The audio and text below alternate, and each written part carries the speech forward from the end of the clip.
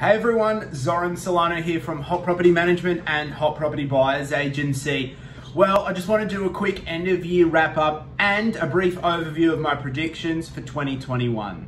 So 2020 has been a year of ups and downs for the Brisbane property market, with the year starting very strong. Buyers Agency had a lot of active buyers in the pipeline that were actively searching for and purchasing in a very competitive market space. And then obviously COVID hit we found a really mixed result during COVID. To be honest with you, it's probably some of the best buying environment I've seen in the last five years because of reduced amount of buyer interest immediately after uh, COVID struck and when the lockdowns were really in full effect. We had active clients searching during that time with uh, unfortunately one or two clients needing to suspend their searches due to their uh, uh, employment situation changing, and also one having personal um, health issues unrelated to COVID. But for the clients who stuck it out and continued the search, they were very much rewarded. We purchased this great property in Wallina Street in Boondall for well under market value in the high 300s. For anyone who knows Brisbane, to be on 600 square metres of land in a three bed, one bath, low set brick within that 12k radius for under 400,000, it's virtually impossible. And the house basically just needed a small cosmetic renovation. So examples like that where we've been very competitive while others are out of the market uh, have really shown po positive results. Then it was a bit quiet. Buyer's agency typically has a lead in time. Obviously, people have to have A, consumer confidence, but B, they have to have uh, their finance in place and they have to have the ability to then get ready to purchase. And that often can take several months. So during the time following the immediate COVID lockdown time, we did find buyer's agency slowed significantly. In fact, across the industry, sales volumes slowed significantly. But what we then saw is when the financial year ticked over, July came around, the market started to heat up. More and more buyers came into the marketplace. And then ultimately, what we found is the last quarter of this year has probably been one of the busiest on record for Hot Property Buyers Agency, purchasing several properties for both owner occupiers and investors. It's interesting to note that majority of our business at the moment in Buyers Agency is actually for owner occupiers. Typically, we're predominantly an investor split with about 60% investors, 40% owner occupiers. But that's dramatically changed with about 80% of our purchases being for owner occupiers, or at least people who plan on occupying the property in the short to medium term, looking to perhaps relocate. We saw a lot of interest from overseas uh, expats looking to return to Australia, purchasing a property and planning their return strategy for when borders are more open. But also as well, we saw a lot of Sydney and Melbourne guys looking to get out of the, the markets down there and move up here as well. And that interstate migration is something I think we'll see moving into 2021, which I'll go into further in a minute as well.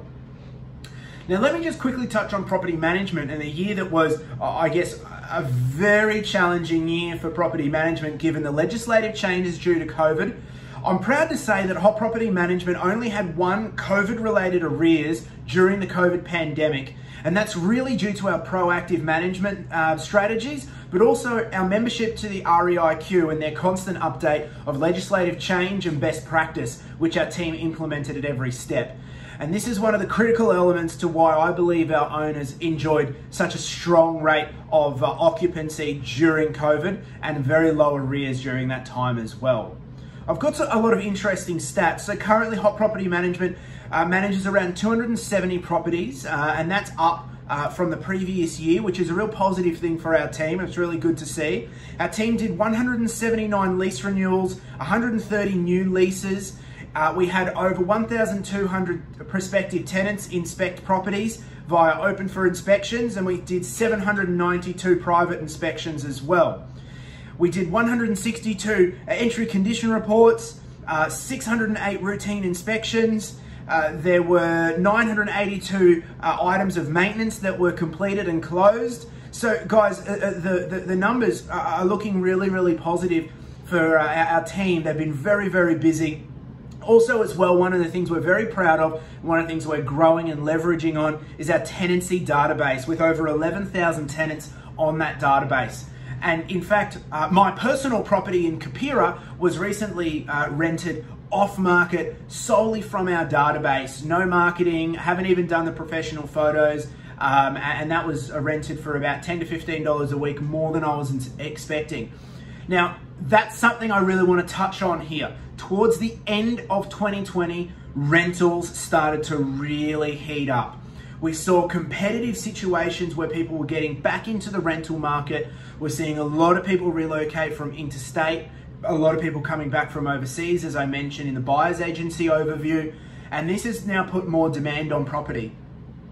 Initially, we saw a shift away from units and apartments and away from the CBD out into the burbs, which obviously we would expect with more people working from home and needing more space in their family home as well. So what we found is properties with a spare room or maybe a high set home with downstairs rumpus really became quite valuable as people were looking to use that space for perhaps running their own business or working from home. And, and that's something that we found has been quite a, a strong change in our marketplace.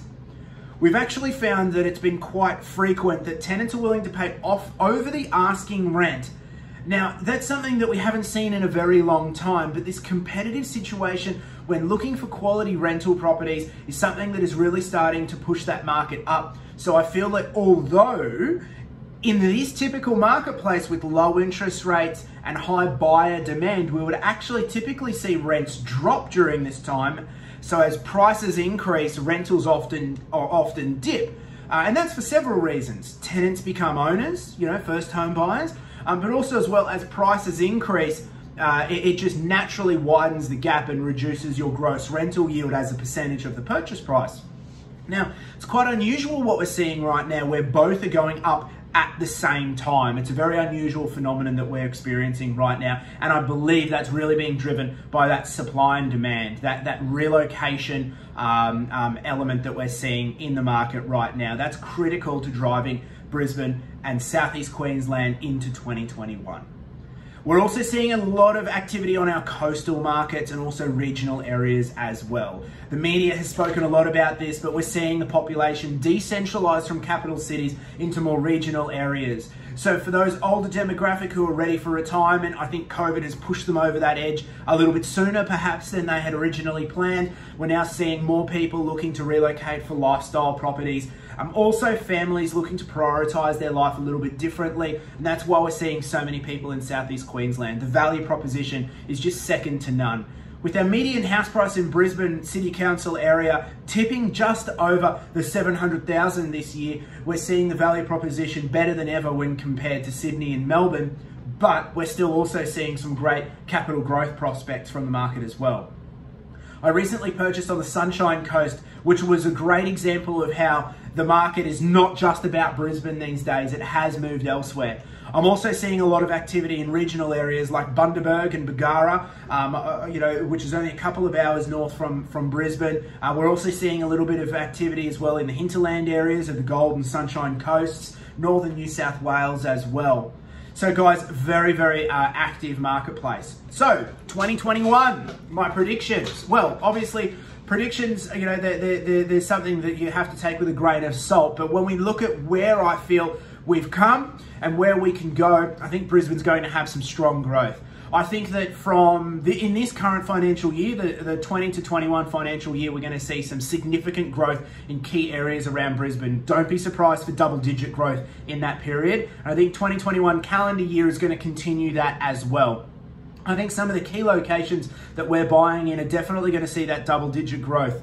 We've assisted several clients with a service called vendor advocacy, where they look to sell, and we assist them in shortlisting uh, and, and appointing a local agent and assisting getting that property ready for market. In both instances of our renovation consulting services that we did in the last quarter, we achieved 10% above the owner's original expectations of what they would achieve. And that's a significant uh, extra dollar in their pocket. It's, it's actually life changing for those guys as well because they now have a lot more cash to move on to that dream family home or, or whatever that next step is for them. So 2021, I feel we're going to still see some more um, interest in the, the Gold and Sunshine Coast markets and the hinterland. I feel that locals are going to struggle to see value where interstate um, investors and relocators will still see value. And that's where locals need to think of the big picture and not just be in a bubble of their own market, but consider the property market as a national, uh, against other national hubs like Sydney and Melbourne and focus on the long-term growth that, that's potential there. Um, also, though, what's really important is we, we need to be careful not to overpay for the wrong property. Now, this is critical in a hot market. You could get really excited about a property and, and pay a premium in a multiple offer situation, but if you're doing that for the wrong property, you're going to find yourself in serious trouble later on if the market does slow. And look, markets ebb and flow. It's just it's just natural. Uh, we'll see the market rise and plateau, maybe drop a little bit because it perhaps become a little bit overheated like we saw in the Sydney market a few years ago. But again, if we maintain that long-term investment outlook, we're going to see that consistency of return over the long term. So where would I be buying? Well, guys, I'm still very active in the Brisbane market within 15K radius of the Brisbane CBD. I think that once we move past this COVID environment, international travel and domestic travel opens up. The Brisbane airport, now that it has its parallel runway, is going to be able to increase its capacity as originally planned. And when we look in Queensland, the two largest employment hubs are the Brisbane CBD and the airport and what we call the Trade Coast Precinct, uh, which is an industrial area, light, light to heavy industrial mix out near the airport. Those two areas provide heaps of employment. So specifically in Brisbane, I'm a big fan of the north side. Now again, I buy both north and south side and I think there's opportunities everywhere. But when we look at geographically where those two large, largest employment hubs are, we see the north side of Brisbane strategically placed between both of those areas. Having said that, the south side still offers some really great opportunity as well. Uh, and but again, we need to make sure that you're in good good areas. School catchments are becoming more and more important. They've always been important, but especially when we see relocators from down south. Again, when we see a, uh, a really uh, strong public school system and, and uh, guys coming up from down south with really expensive uh, schooling fees from private schools, uh, we again see a value proposition start to emerge in our market as well. So, guys, I hope that helps. Uh, if you would like to discuss the property market any further, please give me a call, uh, 3170-3760, or pop me an email to zoran at hpsba.com.au. If you would like to review the performance of your current portfolio, put some renovation strategies in place, consider selling or buying, give me a buzz. Happy to have a free initial consultation and see what options are available for you here in the Brisbane property market. Well, thanks, guys. Stay safe, and I'll speak to you soon.